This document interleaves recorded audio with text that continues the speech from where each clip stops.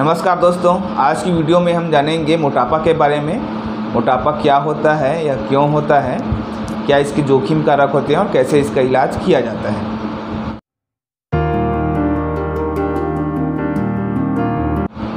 जब हमारे शरीर का वज़न सामान्य से अधिक बढ़ जाता है, हमारे ऊंचाई के अनुपात में हमारा जो वज़न है, वह ज़्यादा हो जाता है जिसकी वजह से और अन्य परेशानियाँ होने लगती हैं, अन्य बीमारियाँ होने लगती है, हमारा शरीर बेडौल दिखने लगता है तो उस कंडीशन को मोटापा कहते हैं।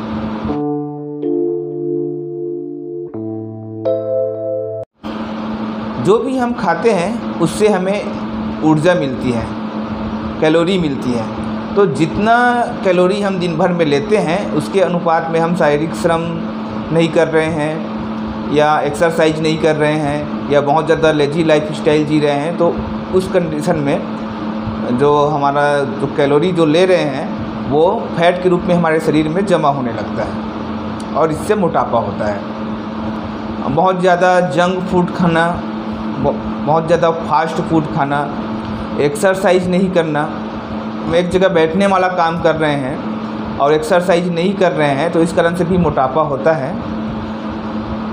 फ़ूड एडिक्शन कई लोगों को फ़ूड एडिक्शन होता है, खाने का लत होता है, बहुत ज़्यादा खाने की आदत, कुछ बीमारियों की वजह से, जैसे कि थायराइड की बीमारी, इसके वजह से भी मोटापा होता है। कुछ अनुवांशिक बीमारियाँ, हमारे फैमिली में, जैसे मम्मी, पापा यदि मोटे हैं तो उसके वजह से भी मोटापा होता है। मोटापा जो है, वह यदि बहुत ज़्यादा बढ़ जाए तो उसके वजह से बहुत सारी बीमारियाँ होने लगती हैं। जैसे कि हाई ब्लड प्रेशर डायबिटीज़ महिलाओं में पीसीओडी का होना, जिससे कि बांझपन हो सकता है फैटी लीवर हार्ट अटैक बहुत ज़्यादा वज़न बढ़ने की वजह से जो हमारे जो नी है, जो घुटना है, वो बहुत ज़्यादा वज़न उसको सहना पड़ता है तो इस कारण से अर्थराइटिस की समस्या भी हो जाती है।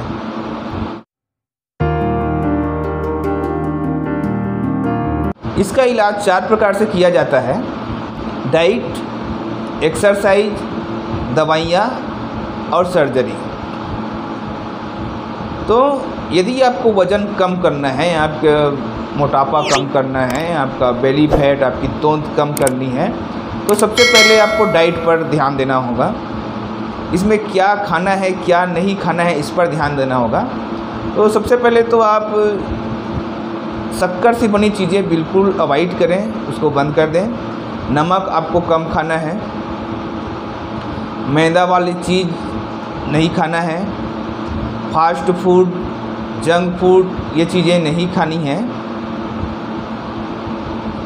जितना हो सके आप फाइबर्स वाली चीज़ों का सेवन करें। जैसे अपने खाने में आप सलाद को अधिक मात्रा में शामिल करें, आपके खाने में 25 परसेंट हिस्सा कम से कम सलाद का होना चाहिए।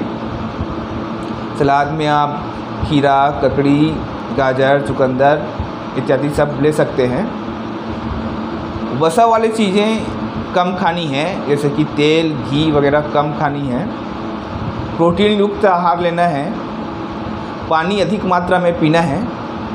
पानी पीने से क्या है? जो हमारे शरीर का टॉक्सिक मटेरियल है, वो बाहर निकलता है पेशाब के ज़रिए। और पानी आप ज़्यादा पियेंगे तो आपको भूख कम लगेगी और खाना आप कम खाएँगे तो इससे भी वज़न कम करने में सहायता मिलती है। दूसरा जो तरीका है, वो है एक्सरसाइज आप हफ़्ते में छः दिन कम से कम एक्सरसाइज ज़रूर करें। एक्सरसाइज में कोई आपको भारी एक्सरसाइज नहीं करना है जिम वगैरह, योगासन वगैरह नहीं करना है। आप वॉकिंग से भी अपना वज़न कम कर सकते हैं। लेकिन यह डिपेंड करता है कि आप वॉकिंग किस तरह से करते हैं। आपको दिन भर में कम से कम दस हज़ार कदम चलना है।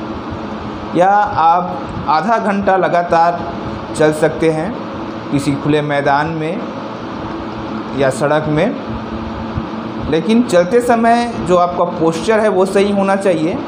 आपको बहुत ज़्यादा झुक कर नहीं चलना है और पेट को निकाल कर नहीं चलना है। आपको पेट को सीधा स्ट्रेट रखते हुए चलना है और जितना हो सके आप फास्ट चलिए।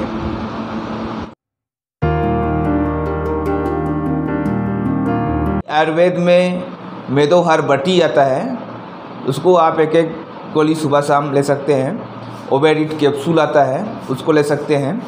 होम्योपैथी में फाइटोलक का बेरी टेबलेट, जिसका बहुत अच्छा रिज़ल्ट है, वो आप चरचर गोली दिन में तीन बार ले सकते हैं। बी ट्रीम ड्रॉप आता है एस कंपनी का, वो ले सकते हैं। दिन में 10 से 15 बूंद, दिन में तीन बार।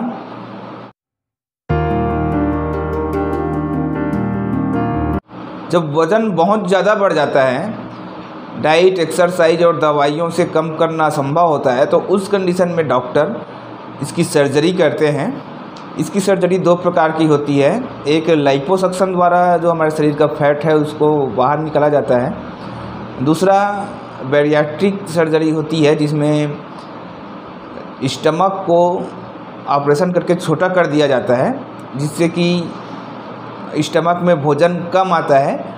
और व्यक्ति खाना कम खाता है, जिससे ऑटोमेटिक वज़न कम होने लगता है। ये थी हमारी आज की वीडियो आपको कैसी लगी कमेंट करके ज़रूर बताएँ। और वीडियो अच्छी लगी हो तो वीडियो को लाइक शेयर करें और हमारे चैनल को सब्सक्राइब करें।